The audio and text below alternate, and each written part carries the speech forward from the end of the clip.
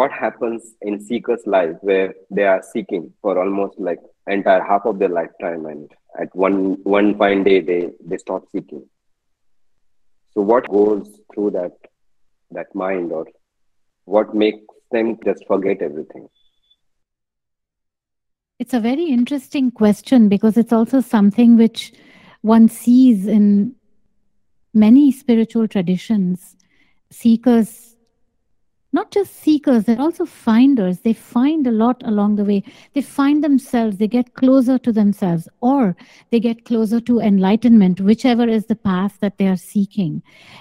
In our case here, enlightenment is not the goal.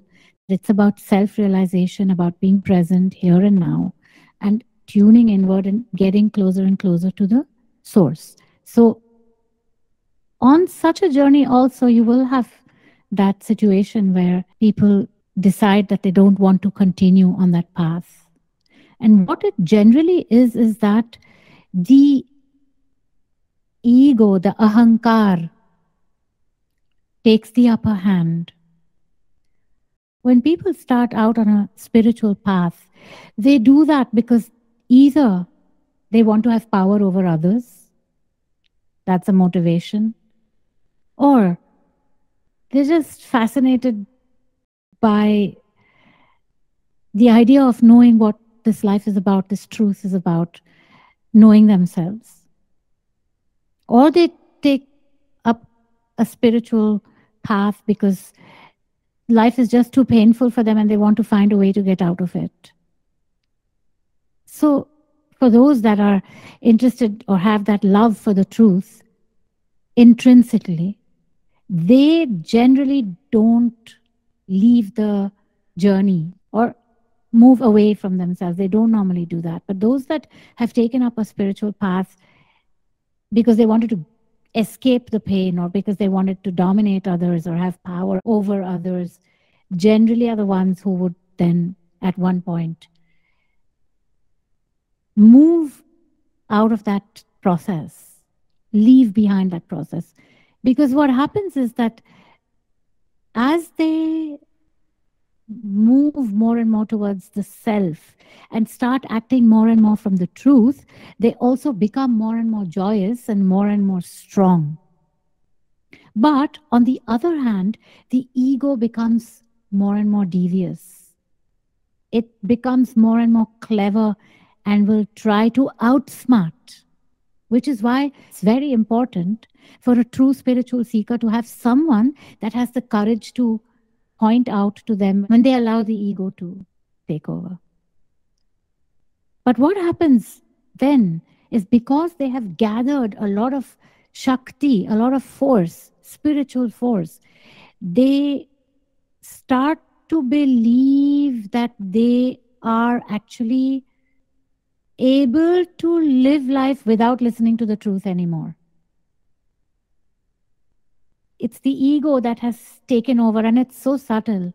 And it comes in such subtle ways, and it takes over. And by the time the person even realizes what has happened, they've already lost all the Shakti that they have gathered over a period of spiritual endeavor. That force, that strength that they have is lost. So, when that strength is not there, the ego has already made its inroads, it'll just keep growing and growing and growing. And so, obviously, they are not going to want to continue with the practices that have actually led them to that state of power. Also, what happens is, especially when there is a spiritual master involved, the master has to point out to the disciple what is standing in the way to themselves. So, the stronger the disciple becomes, the more devious the ego. And so, of course, the propensity not to listen to the truth within themselves or to the truth coming from their teacher, but to go with the ego. And that's what happens, especially in the case of people who start out on a spiritual journey somewhere because they want to have power over others. Those are the most dangerous motivations, and they will always result in a mess. Those are some of the pitfalls which have to be avoided One has to be very careful. One has to be alert. One has to be acutely alert. Because if that happens and you fall off from that from that track or you slip off that track, it's very, very hard to get back on. It's more hard than it could have been before.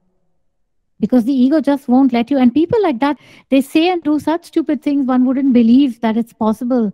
That very same person who maybe a day ago did this does something totally contraproductive and self harming, you know, because it's the ego. The ego is very subtle.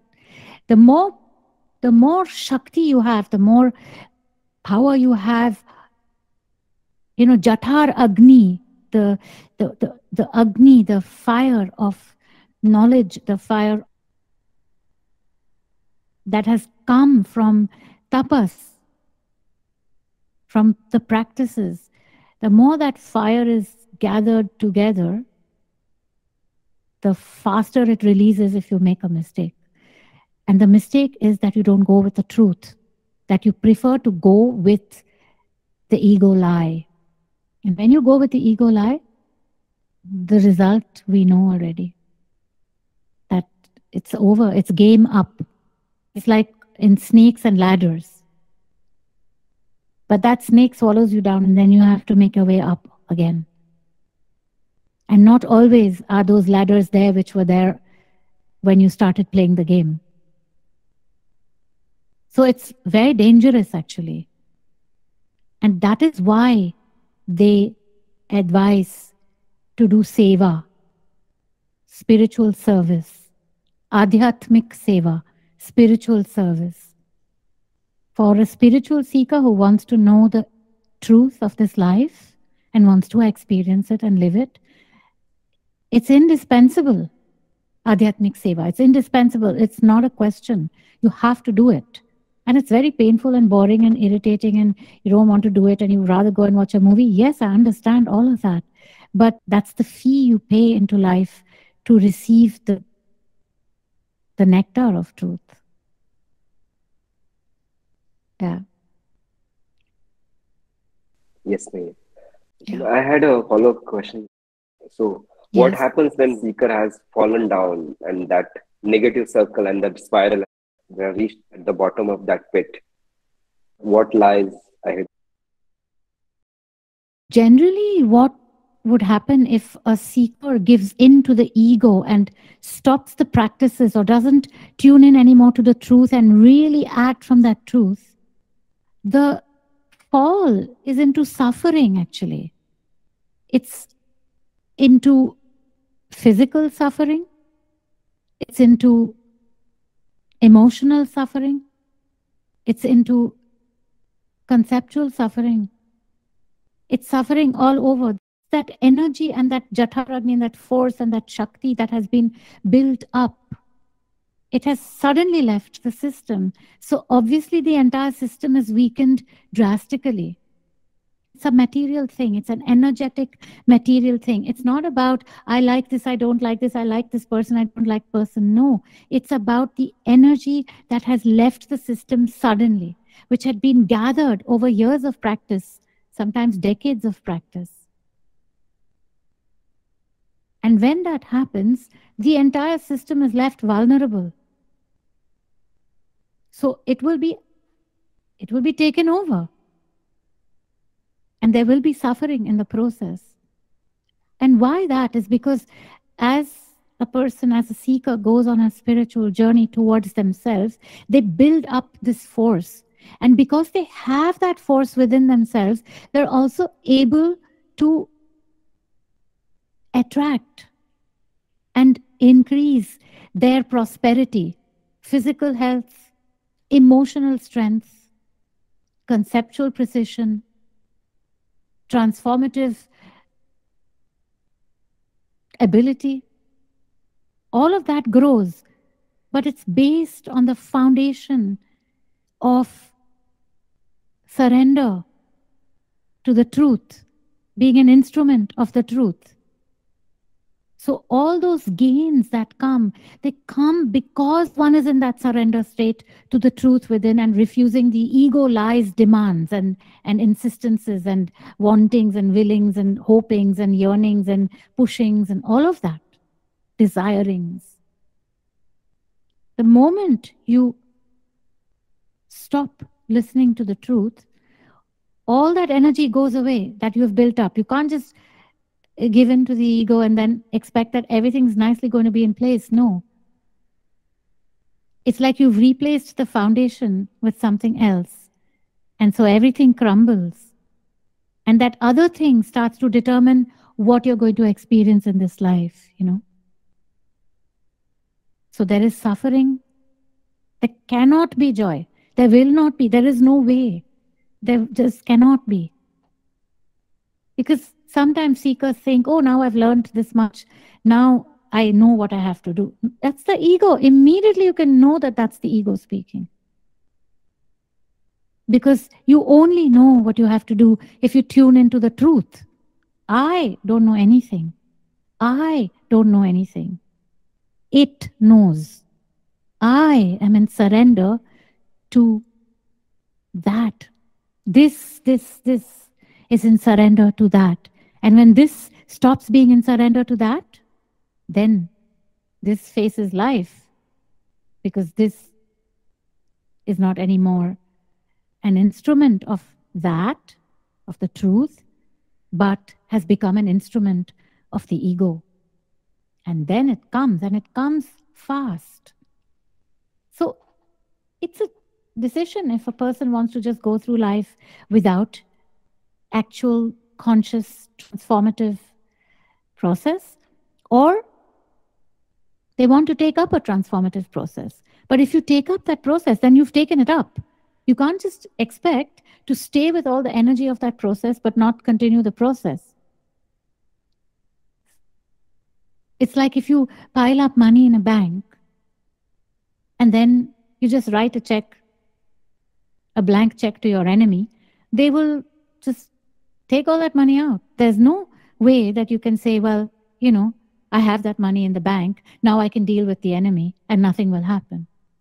Even if you don't write that check, the enemy will fish the checkbook out of your bag and write a check to themselves. That's how it works. So it is a decision which has to be taken seriously and taken for life. You know? It's not a joke knowing self and especially when you've had the experience of that impulse of source or soul self realization you better respect that experience and hold on to it. It's not going to hold on to you. You hold on to it in surrender in humility bending down always in surrender surrender surrender. I am the instrument of the soul. I am yours i'm yours i'm yours. Not your girlfriends or your mother or your prime minister. No, it's the soul, the source. You belong only to that. You don't belong to a family. You don't belong to a country. You don't belong to a nation. You don't belong to anyone or anything. You don't belong to moralities and ideas and and religions and systems. You belong to that source. And if you mess up there, then of course the bank account gets emptied out and you have to build it up again. And it's not as easy because you don't have the tools anymore because you've lost the energy. You have to find the tools again and you have to build it up again. That's why it's so important to hold to the truth. And when seekers have practiced for many years, suddenly they start to get this feeling that they know what's going on and they, they understand everything. They don't. They only know what's going on when they're in touch with the truth within themselves. If they're not in touch with that, it's not going to happen. And often what happens is that they feel that they're in touch with the truth because they don't want to go with what their own truth is telling them. They don't want to go with it, so they create a truth which is actually a face of falsehood. it's a very delicate thing. It's a very, it's walking a tightrope. You have to stay on that rope. And you stay on that rope if you hold on to the truth. If you keep your sights in front of you and you balance, then, then you can move forward.